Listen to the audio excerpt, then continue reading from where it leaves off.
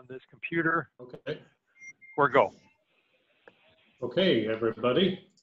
Hello, and you're all very welcome. I'd like to introduce you all to Bill Schmarzo. Bill, of course, as you can see here on the slide, is um, Chief Innovation Officer at Hitachi Vantara. He's also an honorary professor at the National University of Ireland Galway, which some of you might know quite well. Uh, Bill has been a really frequent visitor to the campus in recent years, a great contributor to the IS program in particular. And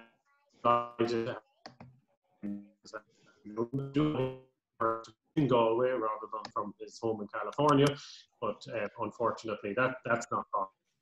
So for, for Bill and his time here today, and just to let you know, Bill is actually the author of three books. One, the Big Data, Understanding How Big Data Powers Big Business. And the second book was the Big Data MBA. And his third and most recent book was The Art of Data Science today and then like a little bit more around um, systems for harm. So with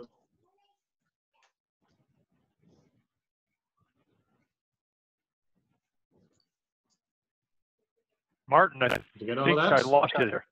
Okay, we just missed my introduction then.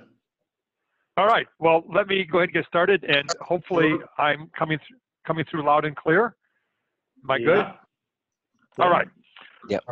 So, in 1805, Lord Nelson, who was the admiral for the British fleet, faced a almost impossible task, which was he had to stop the combined armada of Spain and France from leading Napoleon's invasion of England.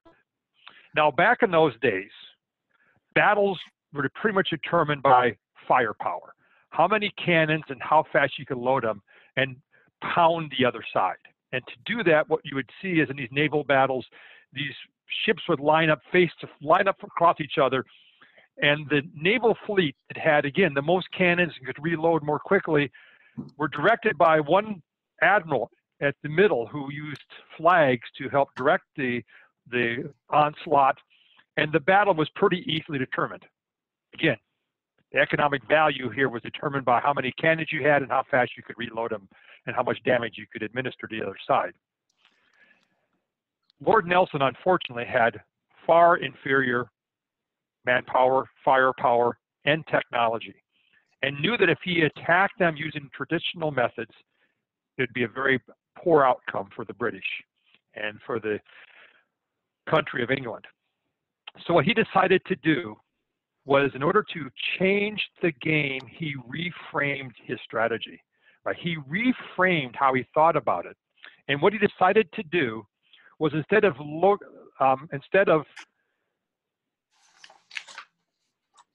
attacking front on, he decided to line up his ships in a line and charge at the middle of the Spanish French Armada line.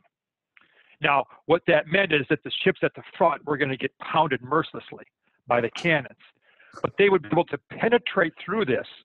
And the idea was to attack the command and control structure of the Spanish Armada by, by breaking them up.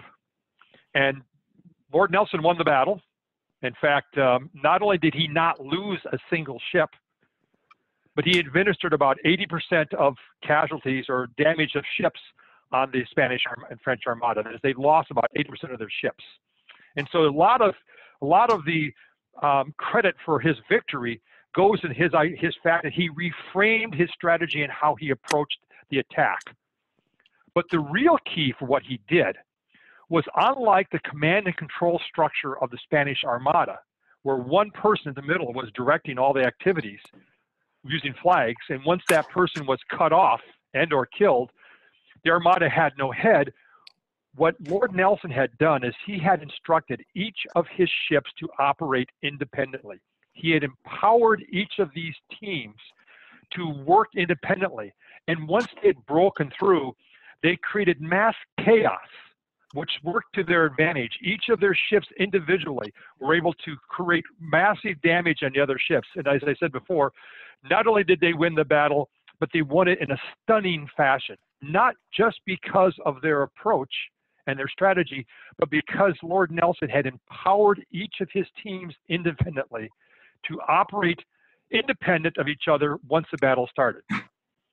By the way, the, the interesting little factoid here Lord Nelson himself was killed in the battle, and he was killed by the one person on the French Spanish Armada side who was not being directed by the, the admiral on their side. He was killed by the only person who was geared to operate independently, a French sniper. So what we're going to talk about today is digital transformation, but the importance, the importance of how teams do this. Now, when we talk about digital transformation, there's some aspects about digital transformation that we're going to talk about through the presentation. And hopefully you can see me writing here on the flip chart. There's some aspects of digital transformation I want us to embrace and we're going to talk about. And we're going to come back to team empowerment time and time again because each of these different aspects here in of themselves are not sufficient. So the first part of digital transformation is always about data and data science. And in particular, how organizations are leveraging things like artificial intelligence, machine learning, reinforcement learning, deep learning to really create new sources of value. Today's digital transformation is driven by organizations' ability to get value out of their data. But to do that requires organizations to take on a whole new approach, design thinking, which is really forcing organizations to deeply and intimately understand their customers. Let's understand, it's really clear here. The only source of value an organization has is its customers because they're the only people, as I like to say, with ink in their pen. They're the ones who are making the decisions. So it, data science without a design thinking customer-centric perspective sets you up for failure. There's also another aspect here.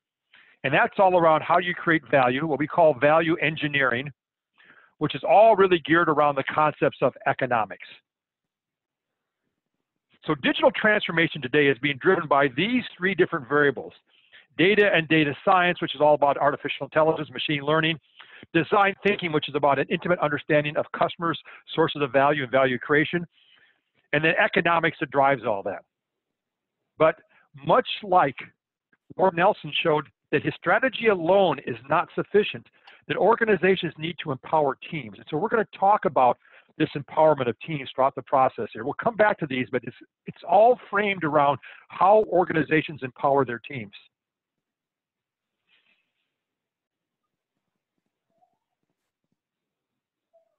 So we know digital transformation is happening across a wide range of areas. Sorry, I got to miss it.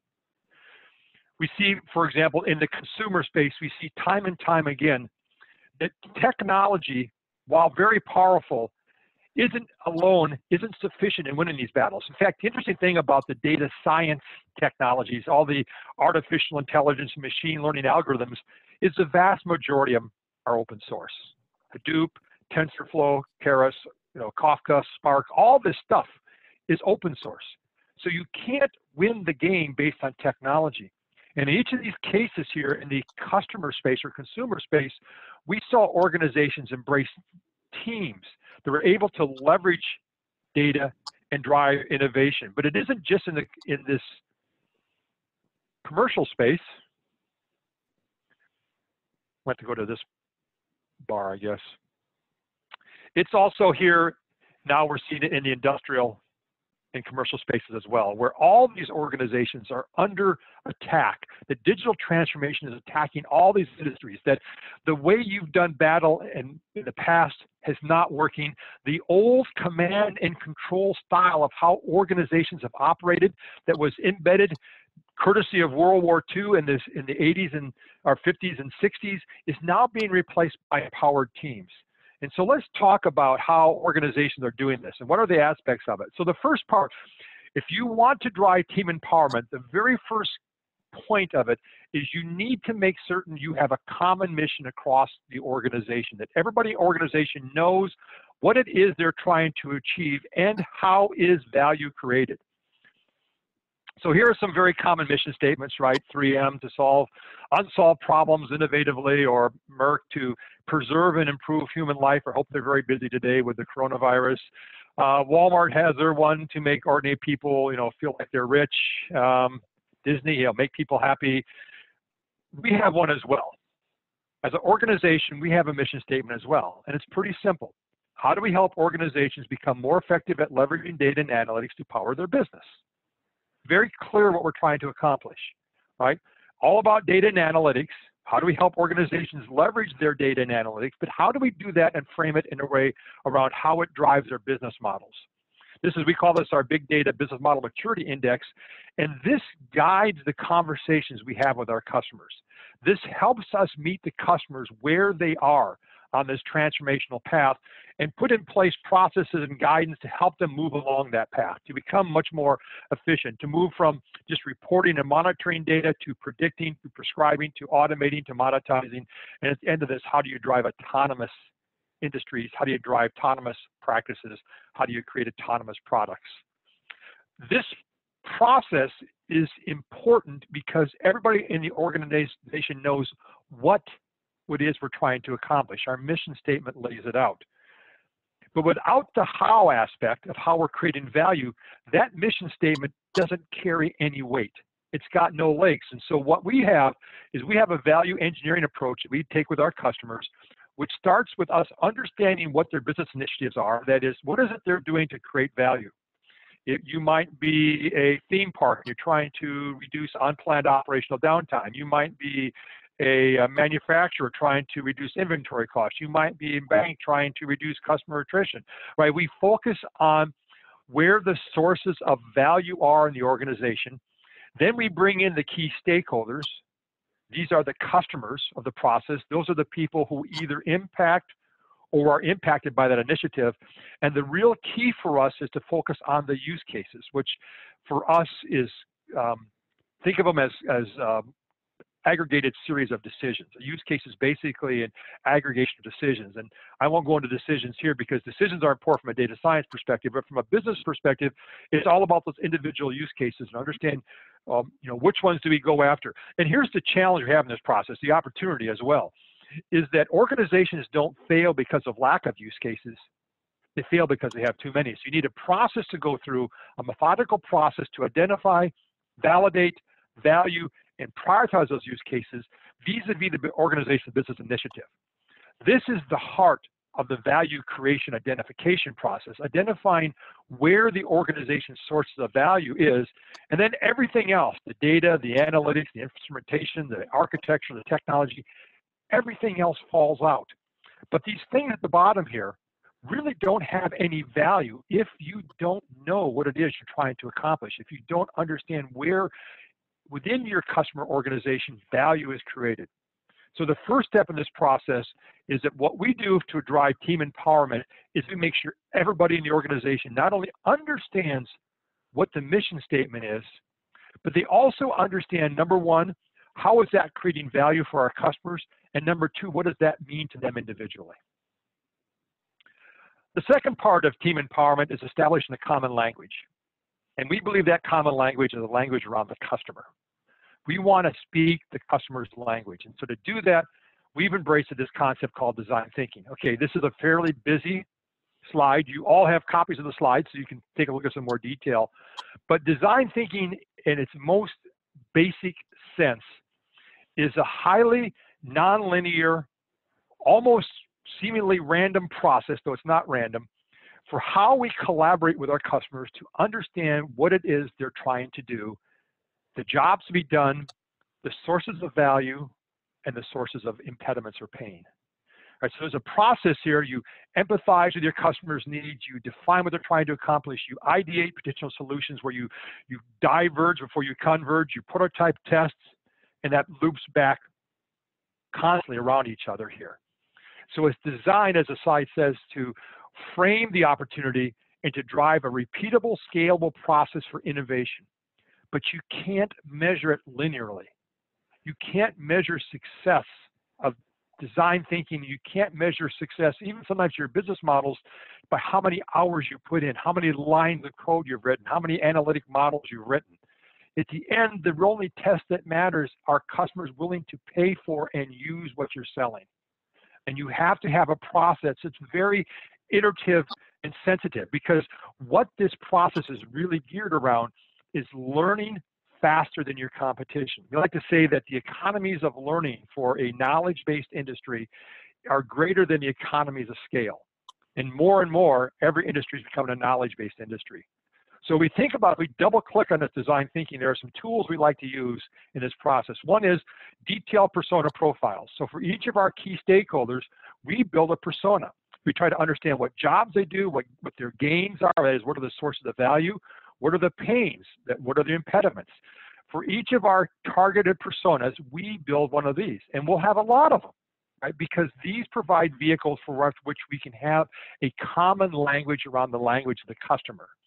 We then drill down into this to actually create a customer journey map to understand the steps that they go through to accomplish a certain task, maybe reduce unplanned operational downtime or to improve, reduce inventory costs or, you know, to buy a house, depending whatever your customer is, they go through a stage. And what we do is we try to take each of those steps that go in a stage and we break them down further to understand the gains and the pains. Now, what's really interesting about this process is the gains obviously make a lot of sense. You want to be able to focus and monetize on the gains. You, that's where the source of economic value is found.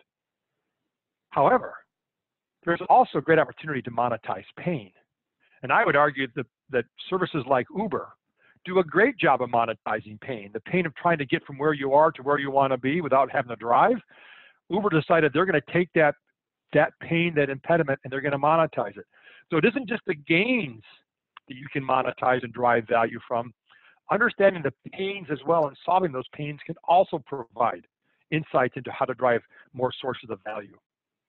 Finally, it all comes together on this customer uh, solution map here where we bring together all we've learned about from each of our personas from the journey map and we start to create solutions, understanding the products and services that we can provide, what the gain creators are and what the pain relievers are for each of those activities.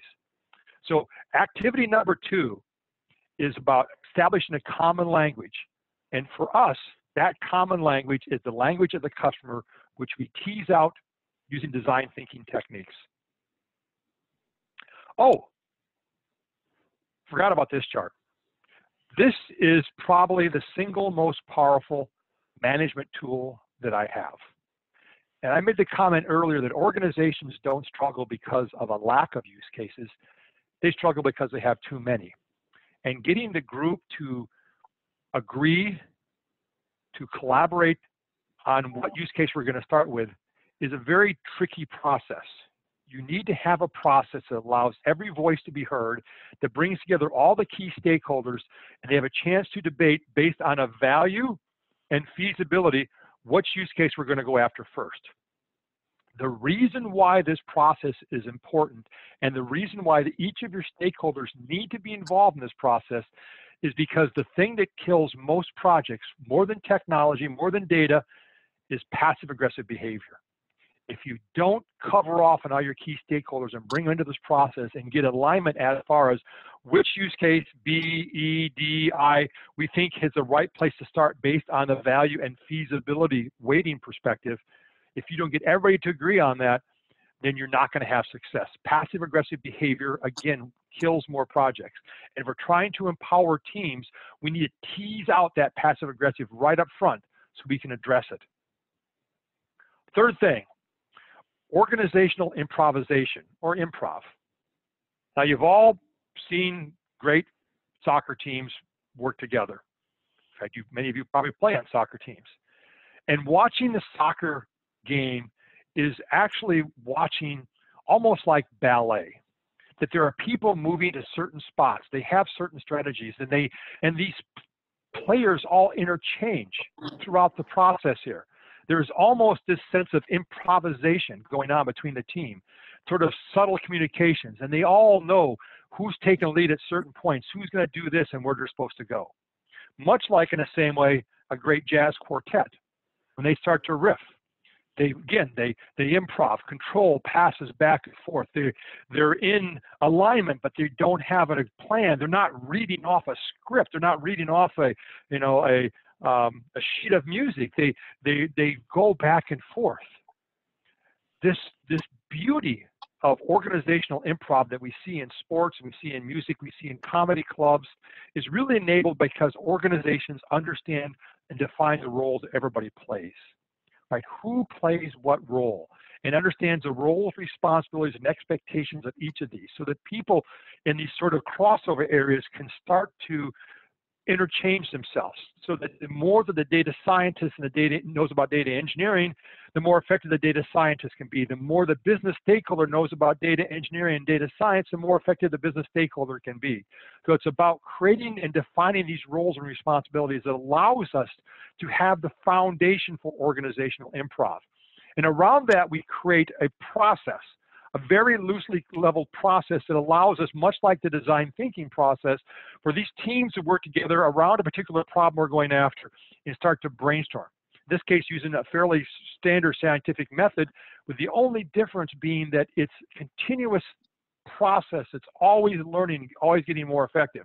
For us in the data science space, trying to predict what's likely to happen is almost a impossible task because you never know with 100% accuracy what is likely to happen.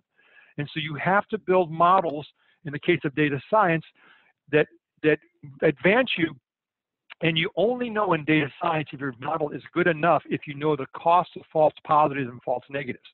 By the way, this is the big challenge we're facing with the coronavirus. Understanding the cost of false positives and false negatives should help direct policy decisions regarding you know, who's being tested, how much we're doing, they're shutting down the economy. There's all these questions here.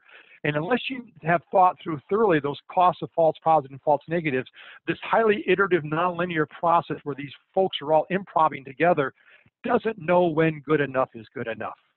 Again, we're facing that problem today with the coronavirus because of lack of data and insights into what's going on and poorly defined false positives and false negatives. Now, what we do to help on the customer side, on the business stakeholder side, is we have a process called thinking like a data scientist.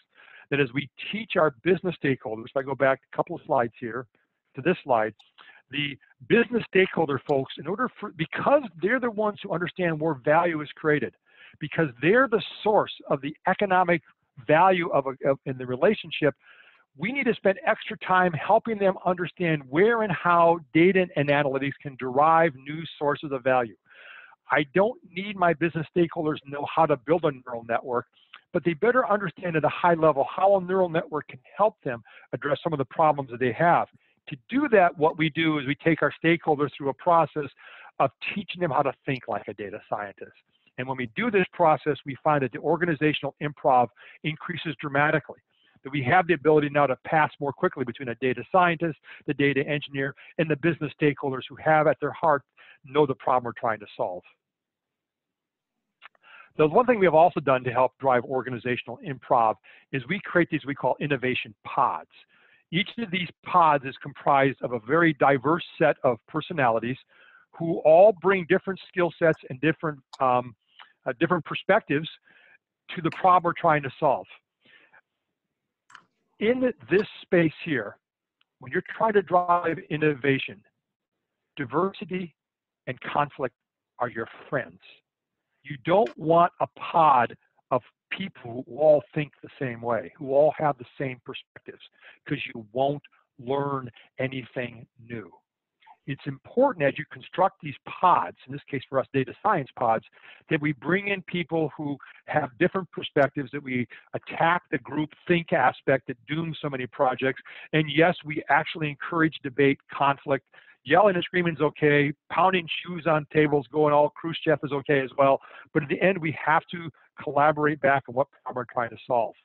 This is a very important process because one of the aspects of innovation is that an adage that we work with and live by is that all ideas are worthy of consideration. That all ideas are worthy of being considered. That does not mean that all ideas are worth a damn. In fact, most ideas probably aren't. But if you open up and bring in diverse opinions and you embrace conflict, you will find synergy that one plus one doesn't only equal three, it equals seven, equals 70, equals 700. And so we create these data science pods purposely with the idea we're going to bring in different perspectives and create tension. And then what we do is the whole team of team concepts. That we can interchange people between pods based on the projects that are going on, that people can move seamlessly between these, much like what you see on a good soccer field, on a good basketball court, or in a jazz club, that people move back and forth between these pods, helping out in certain ways. So much like Lord Nelson leveraged teams of teams by empowering each of his individual ships to make their own decisions. We empower each of these pods to make their own decisions and provide this organizational improv so we can move people between these pods as necessary. Finally, from a organizational perspective, if you can't operationalize all this, why bother? And so here's how we think about operationalizing and scaling innovation. It's a very simple three-step process that builds on everything we've talked about so far. First off, we use design thinking to identify, validate, value, and prioritize the sources of value creation. So this looks like a customer journey map, and what we've done is we've mapped the points of, of gains and the points of pains. We've, we've identified the points where value is created, and we've identified points where value is destroyed. Think about the merger of design thinking and economics on this chart. We're bringing them together so that we can really understand where value is created so we can focus on those areas of value creation.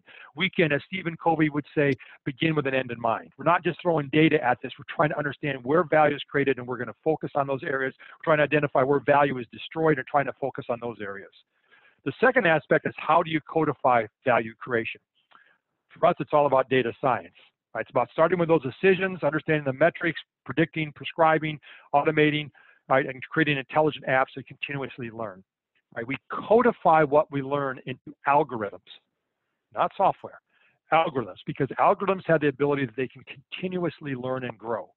And we have we need to have that continuous learning and growing process because the world is constantly changing. New new dynamics in consumer demand, new dynamics in economic variables, new healthcare concerns. And so you have to have you codify those sources of value creation in algorithms.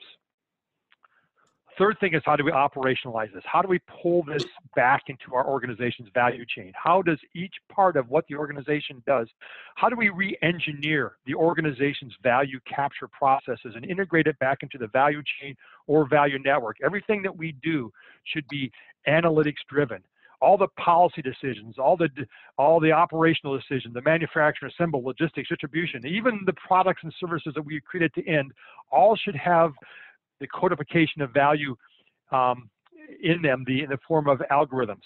And by the way, this is a continuously looping process. You are never done. It may be good news, might be bad news. But the world is constantly changing.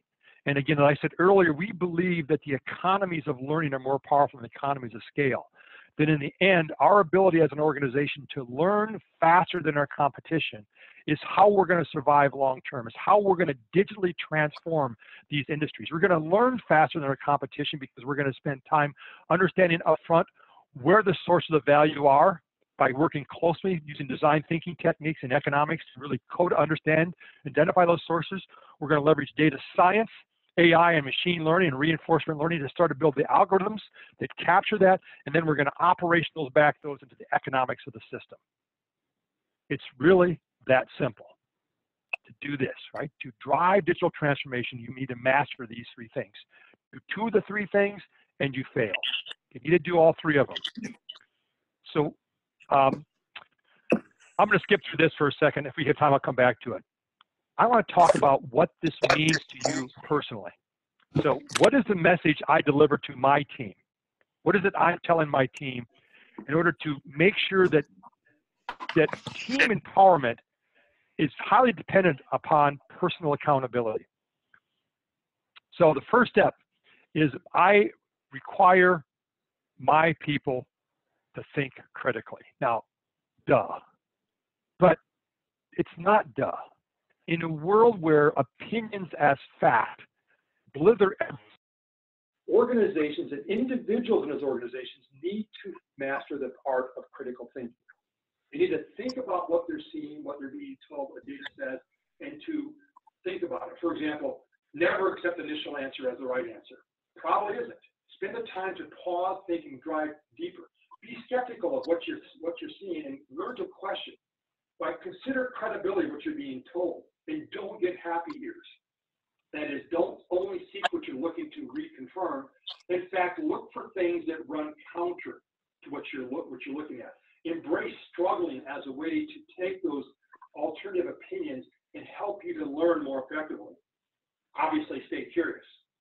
Try to understand what's out there and question things, right? Apply the reasonable test, reasonableness test. If you're told something, does that really make sense? No, the Pope did not vote in the last US election, right? Think reasonable. Pause. We're so busy doing stuff. We're so busy to get to the next section, next thing. Progress isn't measured by hours worked. You need to pause and think what you're trying to accomplish and contemplate and think before you move forward.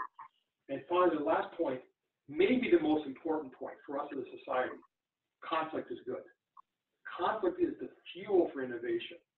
You bring different perspectives together and you meld them together, you synergize together to come up with something better. And that's, by the way, over a different lecture sometime, we can talk about how conflict can change an organization's economic value curve and how that can drive innovation. Here's a fun little infographic that you won't, we won't go through, but you will have in the deck that kind of summarizes each of those points. And my last point here is about playing a video game and why team empowerment is so much like playing a video game. What I learned about team empowerment, I learned by playing Final Fantasy II on my Game Boy. Let me summarize this for you. First off, it takes a team to win. And the more diverse the team, the better. I want lots of different perspectives. I want somebody to be Tom Hanks in the movie Big and raise his hand and say, Bill, can I inter- interrupt for a second? I want to have more of an opinion. I want a perspective on what they're talking about, but it takes a team, different diverse perspectives in order to be Can- successful. Number two, the path to Can I interrupt for a second, Bill? path. I can't tell you exactly how we're going to get there. It may be this sort of way. And by the way, we may get partway there and realize that I'm actually not going there. I actually need to go over here. Number three, just playing the game doesn't help you win. Just playing doesn't help you win. You got to think. You got to you got to have a plan, process by process, define, try, fail, adapt, advance. And as you move, again, you will move like this. But each step of the way, you will learn. And by the way, the next point, failing is how we learn. If you aren't failing enough, you're not learning enough. You're not pushing enough. Learning is failing is how we learn. And you'll have a hypothesis and you'll test that and realize, oop, that's wrong, and you have to come back and start over again. That's okay. Failing is Bill, how we learn. Bill, can I interrupt for a second? point to me is a real critical one. Everyone has to be prepared to take a turn lead. Everyone needs to be prepared to step up. Depending on the situation, it may require different skill sets, different perspectives to someone else who can step up and lead the process. It isn't led by one person at the top. The command and control style of business management is dead. It's given way to empowered teams where everyone on that team is willing to step up and take their turn, even if they're not sure they can lead. Embrace on learning. Bill, can you hear If me? you think you know the answers, I don't want you in my team. If you think you already know the answers, I don't want you in my team. I want people on my team who, who are willing to challenge the holy gospel of ideas they've had and say that may not be true. I think one of the biggest problems we see in the older leadership, at least in the US here, is that they've learned certain ways to run businesses and they can't unlearn what has got to change. And that dooms those organizations. Those organizations that were listed in that early chart about digital transformation, who was being overrun, who was being having their business models disintermediated, was because they didn't unlearn about what was going on in order to learn something new. Remember, if you're climbing a ladder, at some point you need to let go of that rung below you to reach up to the next part. And finally, collaboration is everything. No one wins the battle by themselves. It takes a team. And by the way, we all stand on each other's shoulders.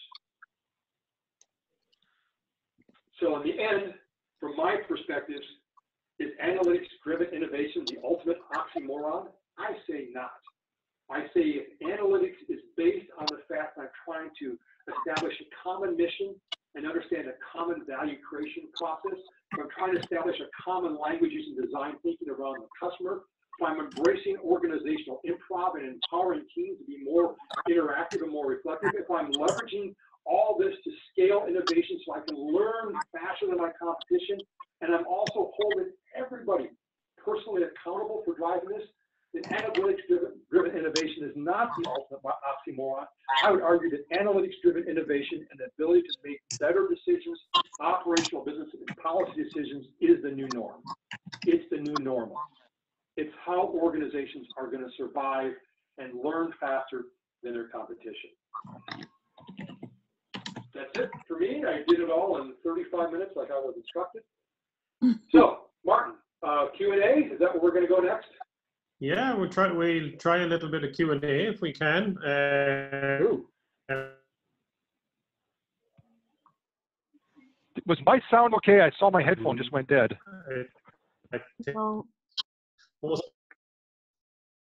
I think the headphones just uh, might have lost the connection. It might have been coming through the laptop there for a little while. But um, I think most people could hear you pretty well. So, All right, sorry about that, folks. I was warned that this was Okay. going to happen, so my my first time. So I, again, I apologize that um, um, I should have yelled more. All right, that's fine. I'll I'll learn and get better at this. No need Okay. No, no, yeah, I don't think it was, uh, let me just put up a chat here. Um. Yeah, I don't know, Rosemary, can you, can you hear us? Because I, I think your mic Yeah. has created a lot of um, interference there. Can you, can you? oh, mute it? sorry, I checked. Yeah. Unless you have a question. Okay, so if, if somebody has a question for Bill, um, just unmute your mic and, uh, and away you go.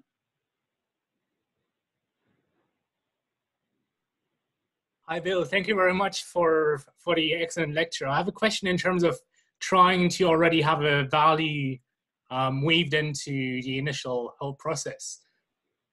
How, how do you balance out still having the massive innovation in the beginning and having open discussion and still having a product kind of driven design in, in the whole approach? Do you think that's dif- difficult to balance or how, how do you balance that one out?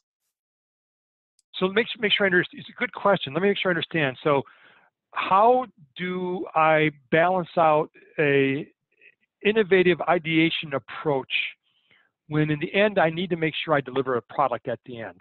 Is that sort of is that the did I catch that right? Yes, exactly. You formulated the question way better than I could. All right, good. No, you it, it, so it all starts with management.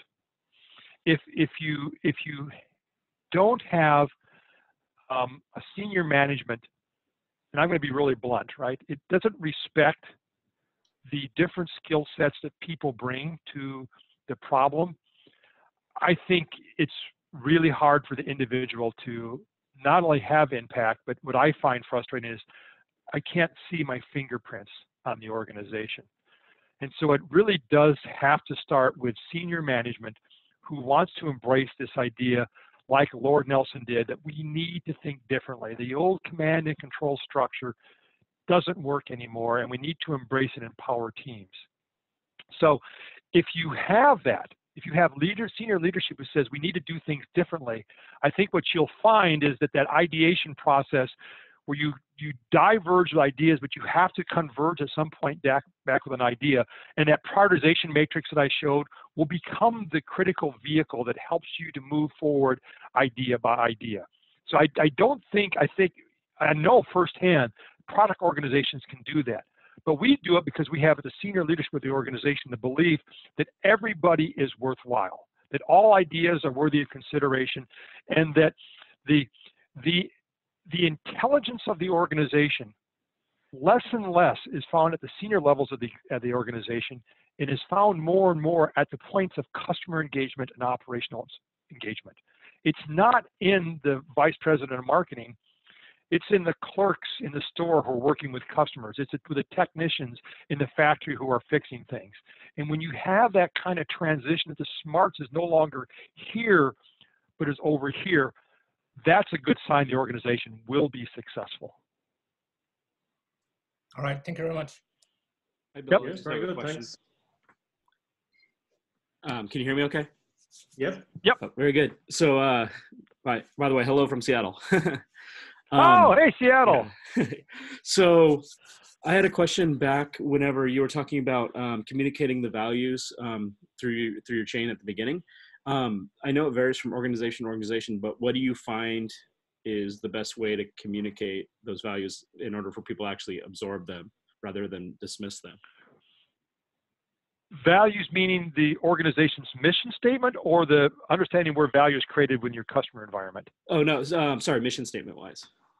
Okay. Um, I I um, once had a student of mine. We were doing this digital transformation class, and her recommendation was in trying to make that digital transformation come to life for everybody in the company, that everybody get a Fitbit and wear a Fitbit around so that they personally would go through a transformation and understand then what that meant to the organization. And so my, my answer is, is the challenge is the organization, this is up to each leader in the organization, needs to make certain that the mission statement is real for even the lowest people in the organization, that everybody in the organization can see how what they are doing impacts the overall mission of the organization. L- let me give an example of one thing that we've done. So the one thing that I think most organizations do really crappy are meetings. Most meetings absolutely suck. They're a total waste of time. And time and time again, I've been called into meetings that I was not, I shouldn't have been there, didn't, wasn't prepped in the right way. It's you know an hour of people droning on, and you walk out with no clear understanding of what you're trying to accomplish. To address that, we created what we call a meeting design canvas. And for any major meeting, what you need to do is you need to make sure that meeting in the canvas in the lower left panel has a, and that panel says, how does this meeting impact our mission statement? How does it tie back to our strategic initiatives? And that little change has helped us to transform meetings. First off, we cut number of meetings down dramatically. But now the meetings themselves have meaning because I understand how this meeting I'm going to, how what I'm doing in this meeting is going to impact different parts of the strategy. So I, I hope that at least that's how we try to address it and bring it down to the individual. Because it's no good if only the senior executives know what you're trying to accomplish and no one down in the working bee part can can personalize it. Then you're probably in trouble. Thank Okay. you. Bill? Yeah. Bill, can you hear me? Yep. Yes. Yeah, I've, I've got a question from Emma. She has a little bit of background noise, so she just asked me to uh, relay the question. All right. Okay. So, can I ask Bill, um, how do how do the organisation manage their focus of their operational goals with generating that many ideas consistently? So, how how does your organisation manage their focus on the operational goals when you're generating uh, so many ideas consistently. So I, I Um, think we've got that right, Emma. yeah. Thumbs up here. Yeah, it's it's a great Yeah. question. In fact, how do you how do you balance ideation with product with you know with certain extent with the reality reality of the business? It may be the most difficult challenge, and there is no right answer. It, it's a balance question. Sometimes you'll ideate maybe more than you need to. Sometimes you'll develop more than you need to. The only guide that I recommend is I always use the customer as my vehicle. If if the ideation process isn't creating things that have value to the customer, that is, if we can't type and test rapidly with customers, then there's no need to go to the product side, right? So there is the, the customer in the middle of this process is everything. Now that may seem really, oh, duh, Schmarzo, that's, you know, the customer should be in the middle. I can't tell you how many organizations don't put the customer in the middle. And in fact, what they also don't do is put the customers customers in the middle. For example, um, I'm doing my team is doing a very big project with a very large theme park in Orlando, Florida. You can probably guess what it is. Um, and we're trying to help we're trying to help them to reduce unplanned operational downtime and all this sort of stuff. If we only focused on that, we'd have some level of success. But what we've done is we said for each of the guests, how does unplanned operational downtime impact each of the guests and the guest experience. Excuse me. When we start to factor in not only the customer, but the customer's customers, now we have a better guardrails around which our ideation process can bounce because we now have the customer's customers who can tell us, you know, when do was an idea useful and when is it just not really relevant to them at all.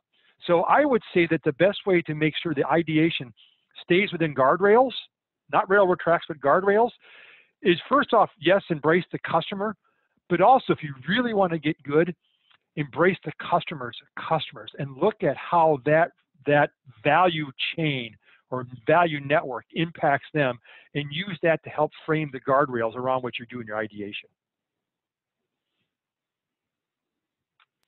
Great. Water, talking too much. No, no, that's great. Any other questions? Hey, Will. Uh, I have a question on uh, on the prioritization. So, like as you said, there are there so there are lots of ideas which are generated within a team. How do you prioritize between those ideas? Is it like you use the model which you said about uh, that focus on the customers, or or is it whether those ideas align to the mission statement? Uh, how do you how do you strike the right balance and and find the sweet spot? Oops. So um, I was going to try to find that prioritization matrix again. Let me let me do this. Um, I, made the comment, and hopefully you can see this, that this prioritization matrix, where I'm measuring value and feasibility from low to high is a tool that we use. Now we we have um, a business initiative we're going after. Again, it might be improve customer experience, customer retention, whatever it might be. And we always, by the way, capstone usually say between nine to 12 months time frame. The reason why I put nine to 12 months is because if I have infinite time, I can solve any problem. But I need to I need to create a sense of urgency. For lack of a better term, I need to light somebody's hair on fire to really get motivated. And so what happens is you look at this, you're going to have a whole number of use cases through your ideation process. You're going to find all kinds of ideas of use cases that can help you to address, let's say, the unplanned downtime is an initiative we're going after. Right, you're going to have all kinds of ideas, and you're going to want to go through a process with all the stakeholders. Bring them all in the room. It might be 15, 20 people, and go through a process of putting those things on post-it notes and debating where they all sit vis-a-vis each other and having debate about you know why is b more valuable than a? Why is a more feasible than b? Why does e which is the senior vice president's pet project have such a low feasibility and if you bring all the stakeholders together and you literally, you'll gather around a flip chart with these post-it notes and you'll debate and argue and cajole and fight about where do each of these things stand. Now, when we do this process, we're always looking at the organization's financial drivers. That is, what is the organization really trying to accomplish? It's always about you know, improving uh, operational, reducing operational costs, improving customer satisfaction, improving customer retention. So there's probably a number of different financial variables that we're going to use to try to measure this against. But in the end, even though we have the financial drivers as the frame for it, in the end, it's about getting people to agree to move forward. And for example, in this example, you may decide you're going to start with C because it's the only solution everybody can agree to.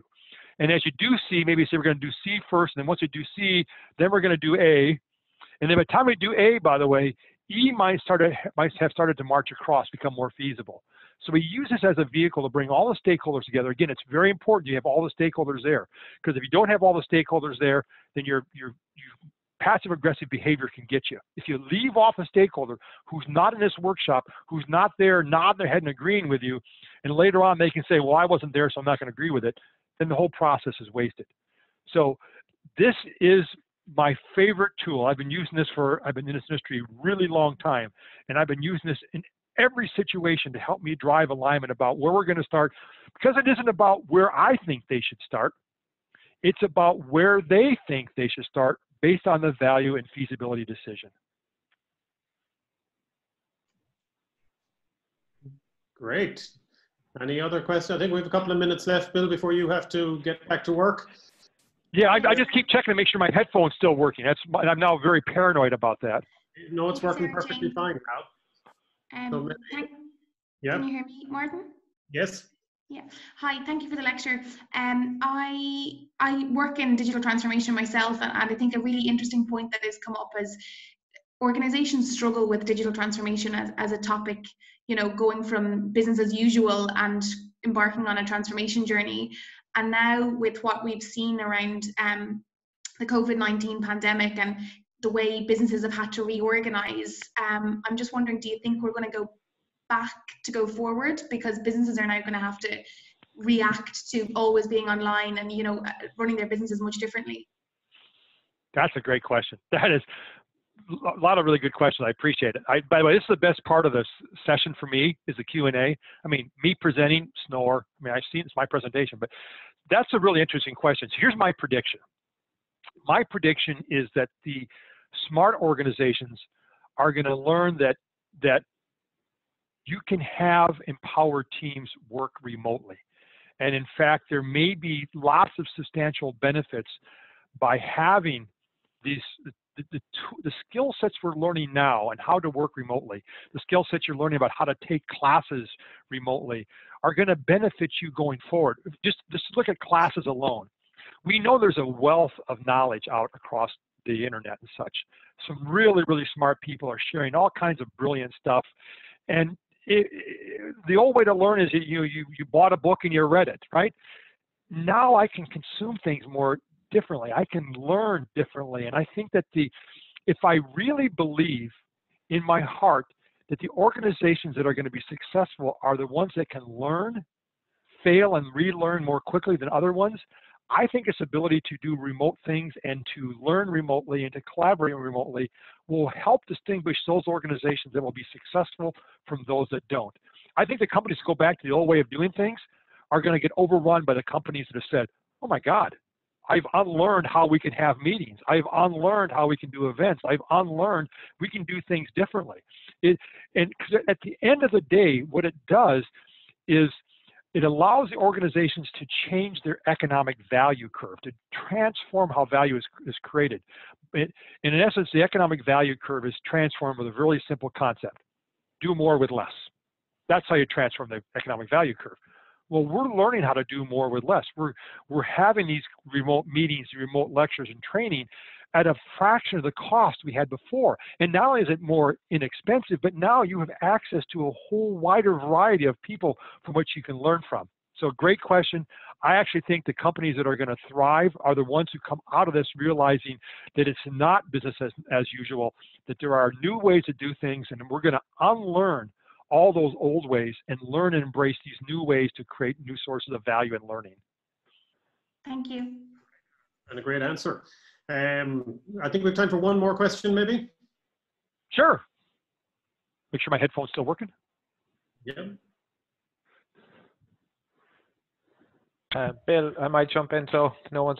I'm just interested in the design thinking and and maybe customers it, that you've seen do it well. Maybe any techniques that you've used, and possibly we need to revisit in light of your last answer. If we need to think maybe how we do things going forward, but just if you have any tips there around the design thinking process.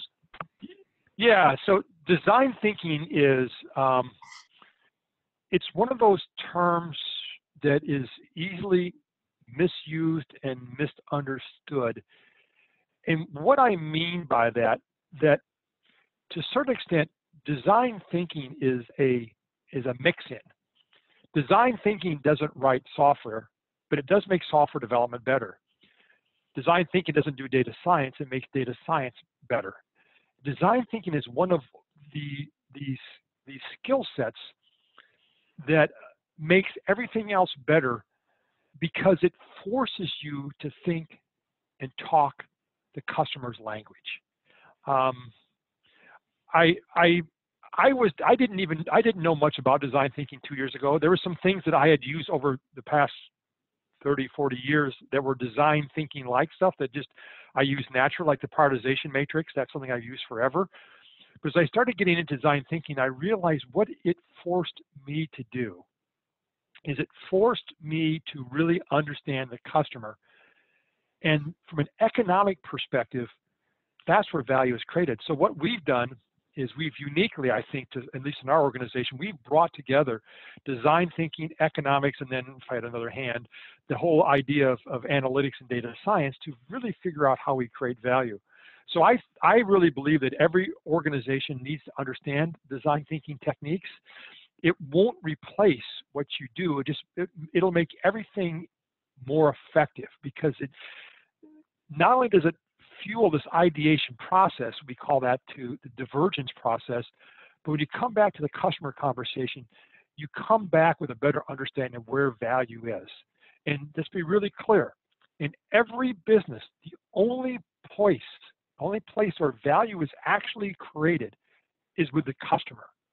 Everybody else, the agents, the brokers, the distributors, right, the retailers, it's no, all the value comes from the customer. My theme park, that I work with, right? It's the theme park isn't valuable. It's the customers by virtue of coming to the theme park and spending money for you know lots of money for lots of things that drives value. So um, I think every organization, at every I think every university and every college needs to have a design thinking layer in it. And the organizations that I think are the absolute best, the one who I think is the best, well, there's a lot of them that are really good. Apple is is rock solid at this. SAP is outstanding at doing this and it changes how they interact with people. Um, I know Xerox and Cisco have done a lot of stuff in the space. Ericsson's doing stuff in the space. So there are organizations that are kind of starting to bubble up and do more and more of this. Uh, but every university needs to have some level of design thinking, uh, not just within one school, but across all the schools so they all can speak and think the same language of the customer. Turn on my video can hear? There you are. Nope, you were there a second. Yeah, okay, they're back again, I hope. So, Bill, thanks a million. That was really fascinating. Um, I personally have pages of notes here that I've been frantically scribbling away at while, uh, while listening to you. Um, every minute you go on, you're adding fresh insights, and it's, it's really been a fascinating hour. Thank you, thank you very much. Um, I think there have been uh, layers of insights on uh, the story that you've just told us. It's been a fascinating uh, little peek at what it is that you do and the value that you, you bring to, to your organization. Um, I love hearing when somebody says, I've got a, favorite framework, the one right there behind you on, on screen, because um, it, it, brings across that idea of systems thinking and a systems approach to, to problem solving, which is really at the heart of we're trying to go with a module in terms of team empowerment, but from that systems perspective. So everything from the, the idea of smart organizations will figure out how to do this uh, better in, in the future to your pods, to the examples that you were giving, to the structure that you get you gave us in, in the presentation. It's, it's all been it's all been really fascinating and a fantastic addition to the module. I can't really thank you enough. Well, thank you, Martin. I, I love the opportunity. Um, I'm sorry about the headset thing, and every time we do this, we'll get better at it. I'm I'm unlearning so I can learn again.